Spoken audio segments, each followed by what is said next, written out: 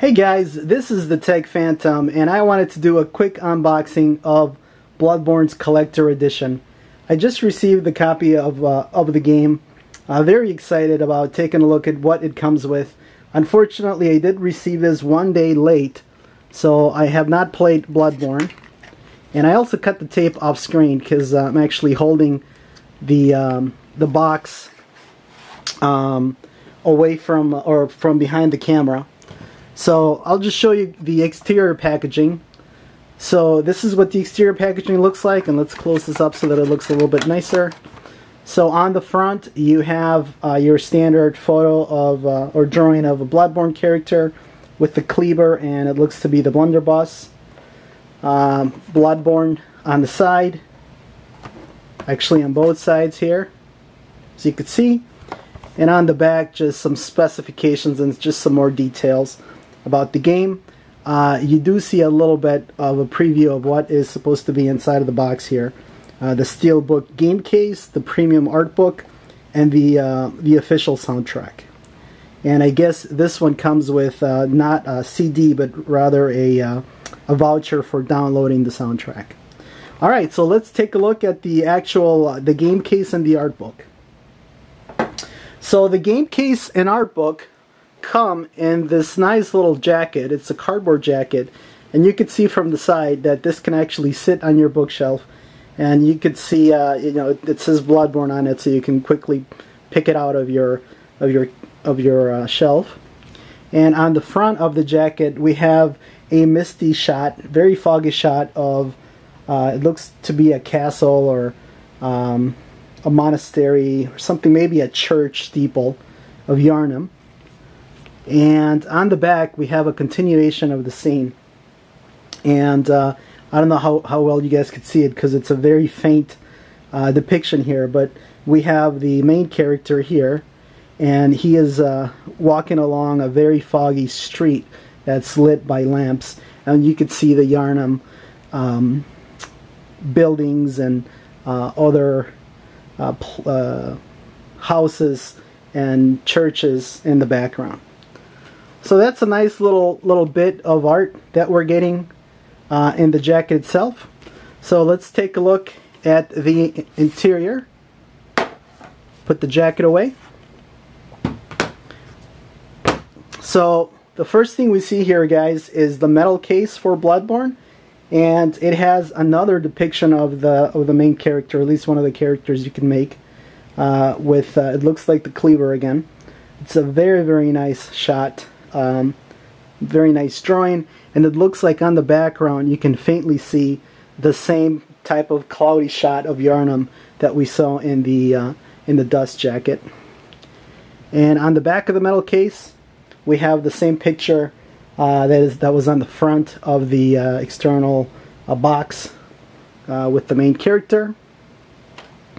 We have Bloodborne kind of typed on the side, on one side, and on the other side is obviously where you would open this. And here's my voucher for downloading uh, the digital soundtrack. And here's the uh, PS4 uh, exclusive Bloodborne.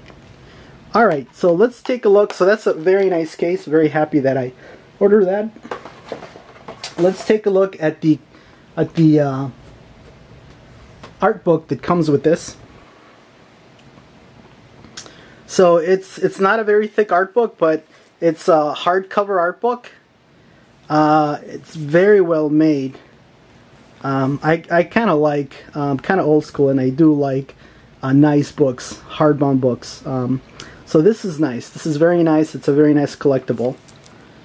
And I'm just going to page through all of the pages here so you guys have a chance to take a look at this.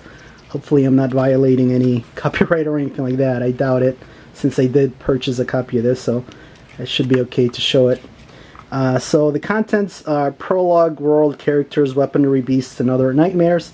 And I guess uh, before I go any further, I will say, spoiler spoiler alert! I am going to be paging through um, the uh, the art book. So uh,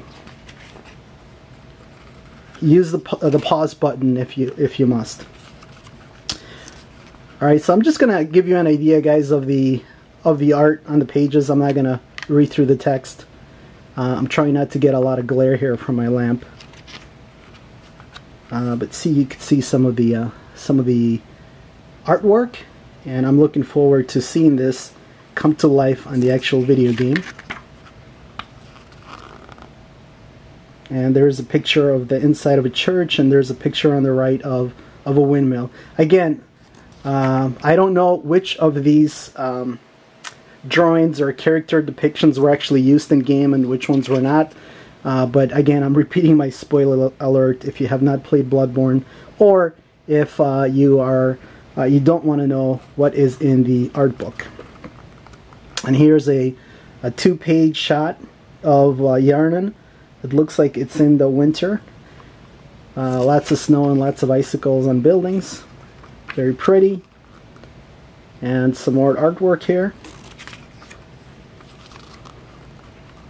And here's more depictions, I imagine, of the characters and places uh, that you're going to see in the game. And I'm going to enjoy paging through this book after I've had the opportunity to play um, Bloodborne a couple of times. I think it'll have more significance to me. Alright, we're switching over to the characters. Uh, there's the main character with a very cool cape. And I guess this is some of the arbor, uh, some of the armor that's in the game.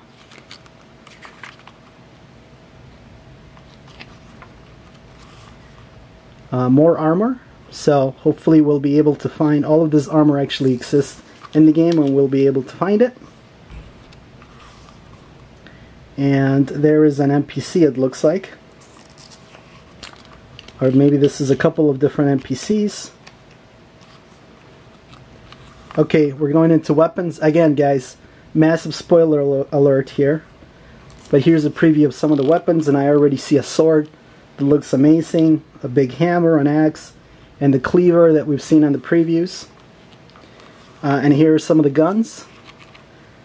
Uh, hopefully all of these exist in the game and we'll be able to pick them up and check them out.